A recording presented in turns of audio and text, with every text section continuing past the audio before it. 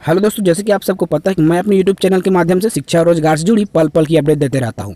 दोस्तों, आज मैं इस वीडियो में आपको आने वाले सत्र में, आने वाले ईयर में पाँच विभाग की जो रिक्तियाँ जारी होने वाली है, पाँच विभागों में भर्ती आने वाली है, उनकी जानकारी मैं इस वीडियो में देने वाला हूँ दोस्तों। तो चलिए दोस्तों, हम इन पाँच विभागों की बात करेंगे, जिसमें मैं पहले विभाग की अगर मैं बात करूँ दोस्तों तो शिक्षा विभाग है। तो जैसे कि आप सबको पता है कि छत्तीसगढ़ में वर्तमान में आत्मानंद जो अंग्रेज़ी माध्यम के विद्यालय संचालित है, उत्कृष्ट विद्यालय जिसे हम बोलते हैं। तो आत्मानंद उत्कृष्ट विद्यालय छत्तीसगढ़ में संचालित किए जा रहे हैं, जो कि इंग्लिश मीडियम का का स्कूल है दोस्तों। तो अभी वर्तमान में वित्त विभाग में जो कहना चाहिए कि जब भी वर्तमान में जब बजट हुआ, बजट सत्र पेश किया गया दोस्तों तो उस स्थिति में बत्तीस नए आत्मानंद स्कूल खोले जाएँगे, हिंदी माध्यम के। अर्थात हिंदी माध्यम के बत्तीस आत्मानंद स्कूल खोलेंगे जहाँ पर शिक्षकों की भरपूर कमी है, अर्थात उस आत्मानंद विद्यालय में हिंदी माध्यम के शिक्षकों की आवश्यकता पड़ेगी दोस्तों।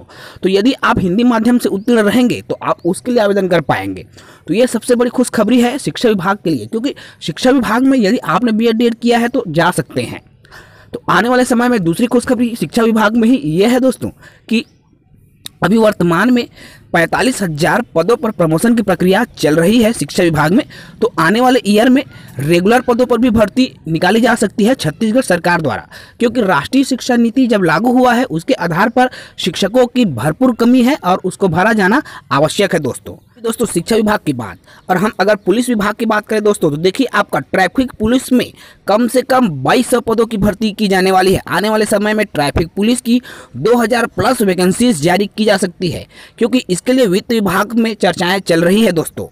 ऐसे दोस्तों, महिला नगर सेना, महिला नगर सेना के अंतर्गत भी आपका दो हज़ार पदों पर भर्ती होने की भरपूर संभावनाएँ छत्तीसगढ़ में है, क्योंकि वर्तमान में इस पर भी विचार चल रहा है दोस्तों। साथ ही साथ, ग्राम सचिव के पद पर भी वैकेंसीज जारी की जा सकती है, क्योंकि बहुत लंबे समय से ग्राम सचिव के पद पर अभी तक भर्ती नहीं की गई है दोस्तों। साथ ही साथ अपकमिंग जॉब में आपका छात्रावास अधीक्षक के पद भी शामिल है दोस्तों, जिसमें आपका सात से लेकर नौ सौ बम्पर पदों पर छात्रावास अधीक्षक की भर्ती भी आने वाले समय में नोटिफिकेशन जारी होने की भरपूर संभावनाएँ हैं।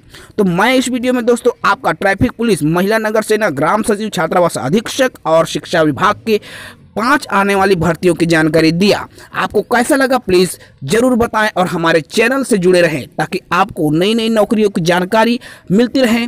सबसे पहले, जय हिंद, जय भारत, जय छत्तीसगढ़।